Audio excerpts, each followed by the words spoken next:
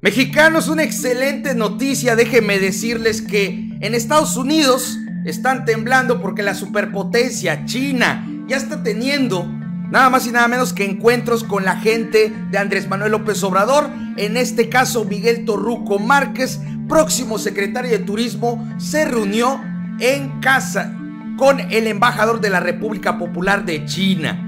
En 2017, China aportó al mundo 120 millones de turistas, de los cuales 100 mil visitaron México con un gasto promedio de 2.400 euros por turista. Necesitamos traer más, señores. El turismo va a mantener a este país. Esto es grandioso. Muchos de nosotros no lo valoramos, pero para ellos estas pirámides y todo lo que tenga que ver con los mayas y aztecas para ellos, para ellos es algo sobrenatural. Y dice el próximo secretario, la instalación de la infraestructura moderna y adecuada es indispensable para darle el paso al turismo más desarrollado y vanguardista. México no puede llegar tarde a satisfacer las exigencias de un turista cada vez más exigente que tiene a su alcance muchas y novedosas opciones. Antes no existían redes sociales. Ahora cuando la gente quiere viajar, quiere ver su destino, las opiniones, cómo está la situación. Aquí en Campeche tenemos Etzna. Es un lugar increíble de los mayas, cercano a la ciudad de San Francisco de Campeche. Nos queda como a 20 minutos. Lamentablemente no hay ningún camión que te lleve allá. Tienes que ir en taxi, tienes que ir a un hotel de, de lujo y que saque un, convoy hacia ese lugar. O sea, es de acceso exclusivo. Es triste, yo creo que con el gobierno de la cuarta, cuarta transformación esto cambiará.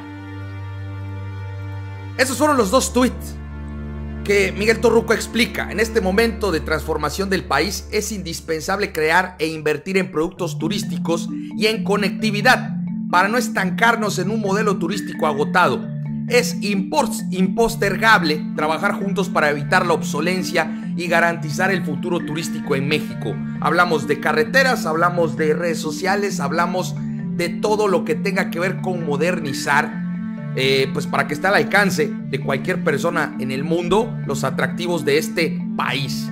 El tren Maya estaba previsto para 900 kilómetros entre las ciudades de Cancún, Tulum, Bacalar, Calakmul y Palenque uniendo los estados de Quintana Roo, Campeche y Chiapas. Sin embargo, el nuevo plan contempla Tabasco y Yucatán. Serían 1500 kilómetros de recorrido. Nuestros hermanos deben de estar sumamente felices. Ya ven que los yucatecos decían, nos sacó Obrador de, de aquí. Pero se pudo. Se pudo.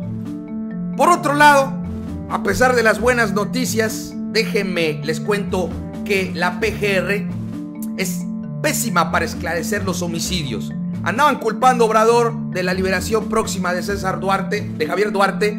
Hablaban de que por culpa de Obrador salió el Bester Gordillo, pero la PGR estos seis años ha hecho un pésimo trabajo. Poca efectividad para esclarecer homicidios. 75% ligados allá saben qué. Y la PGR solo indaga el 0.2 del total. Pésimo. Pésimos números, señores. De verdad. La inseguridad en este país la va a recuperar. La, eh, provocó el gobierno de Peña y, nada más nada menos que Felipe Calderón con el daño colateral. Pero Obrador quiere recuperar la paz. Por otro lado, tres compras van en un solo año de Enrique Peña Nieto de productos bélicos, nada más y nada menos. Helicópteros, misiles, cohetes, torpedos. ¿Para qué se necesita tanto arsenal? Se ha gastado 20 mil millones de pesos. ¿Qué les parece? Estamos en una época de paz y Peña Nieto, ¿qué, ¿a qué le tiene miedo? Señores, con Obrador estas cosas no van a suceder, pero lamentablemente ya se gastó el dinero Peña en esto. Para mí, algo ridículo. Aquí, miren, esto sí lo tienen que leer los que dijeron que José Antonio Mit y Obrador habían pactado para que se vaya al Banco de México. Si eso fuese verdad, ¿No declararía el Banco de México la posibilidad de que la política económica de López Obrador genere inflación y una fuerte desaceleración? O sea, habían dicho que Obrador iba a poner en el Banco de México a José Antonio Meade, pero hoy el Banco de México critica la forma de trabajar de Andrés Manuel y dice lo mismo que David Páramo, vamos a tener inflación, o sea, vamos a tener menor poder adquisitivo con nuestro dinero. Eso es una mentira. Ojalá, ojalá el Banco de México cuando vea los resultados diga, nos equivocamos. Lo mismo que los empresarios en su momento criticaban a Andrés Manuel, hoy lo apoyan, hoy están con él. Mientras tanto, Peña Nieto está en la Serie Mundial de Robótica. Eh, eh, pues participan jóvenes de todo el mundo. ¿Saben qué es lo que no me gusta? México es de los países donde más fugas de cerebros tiene. No solo fugas deportivas, que hay buenos futbolistas que se van a otros lugares por la falta de apoyo del gobierno actual. También tecnológicamente hablando. Va a la sede de robótica, pero muchos chavos, por ejemplo aquí en Campeche, en la Perra del Golfo, Ciudad y Carmen, había un equipo de robótica muy bueno solo lo apoyaron cuando ganó a nivel internacional y eso porque los papás estuvieron juntando la lana. Aquí, señores, no se apoya la tecnología, no se apoya ni se reconoce lo bueno que tiene este país. Tenemos a gente extraordinaria, pero lamentablemente somos, como dice, hay, un pasaje bíblico. Nadie es profeta en su propia tierra, algo así. Me parece que es, es bíblico o es, es un dicho, ¿verdad? No es bíblico. Por otra parte, es el año de Hidalgo, Ingesú el que deje algo.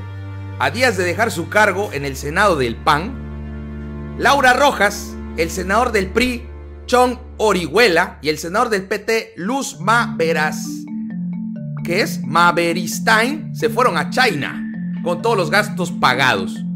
Estos tipos, cuando les dice Obrador que se tienen que bajar el sueldo y tener austeridad republicana, es precisamente por este estas canalladas, estas locuras, este despilfarro. Esto es de diario, ¿eh? Les acabo de sacarlo de Peña Nieto. Ahorita están viendo a estos senadores, nada más y nada menos que del PRI, del PAN y del PT. Y luego se cuestionan de por qué se está pidiendo austeridad republicana. Este es otro de Peña Nieto. La Suprema Corte de Justicia de la Nación declaró inconstitucional el monopolio otorgado por el gobierno a los ingenios para exportar azúcar de caña a los Estados Unidos. Se rompe el monopolio. Los monopolios que tiene el gobierno es nada más y nada menos para beneficiar a un pequeño séquito de empresarios. La Suprema Corte hoy quita el monopolio de nada más y nada menos que la exportación de azúcar de caña. Pero no es lo único. El gobierno tiene monopolios increíbles porque estos empresarios que generan los monopolios son los que financian las campañas electorales. Esto se tiene que acabar. Yo sé que el gobierno en la cuarta transformación lo hará. No es un trabajo fácil, no se va a hacer en un día, pero sí es algo de lo cual nosotros tenemos que tener la confianza. Voy a regresarme a esta parte del turismo, de lo que nos interesa. Amigos, a nivel internacional hay países que tienen mucho potencial económico, tiene la gente tanto dinero que no sabe qué hacer con él. ¿Y saben cuál es el, el pasatiempo favorito de los millonarios y la gente de estatus alto? Viajar. Viajar, gastarse su dinero en un lugar. Aquí en México no hemos tenido lo necesario para aportarles, como dice Miguel Toruco, hay muchas eh, opciones hoy en las cuales el turista diría, ¿por qué tengo que ir a México? ¿Qué me haría gastar mi billete en México? El tren Maya, señores. El tren Maya es maravilloso. No había existido un proyecto de, este, de esta naturaleza y de tanta inversión, 150 mil millones, para conectar Quintana Roo, Campeche, Yucatán, Tabasco y Chiapas. Señores, todo el sureste, todo el sureste. Y esa gente, al ver el tren Maya, se va a quedar. Porque a pesar de que son 1500 kilómetros, este, 1500 kilómetros, podemos decirles también que va a haber una estación en cada lugar, dándole a la gente que vive en esos lugares la oportunidad de crecer económicamente, que sean emprendedores, empresarios, que vendan sus tamalitos colados, que vendan sus panuchos, sus empanadas, sus tortas de cochinita pibil, todo al extranjero. Pero también lo que son, llámese sus manualidades, llámese también eh, sus vestidos, trajes típicos, etc. Amigos, tenemos el potencial, tenemos los lugares, tenemos los paraísos, Lo que no tenemos es la infraestructura, el apoyo y los proyectos que sean llevados a aquellos lugares que el turista va a decir, ¿saben qué? Voy a quedarme aquí mexicanos y voy a darme otra vuelta con mis amigos, con mi familia y lo voy a recomendar.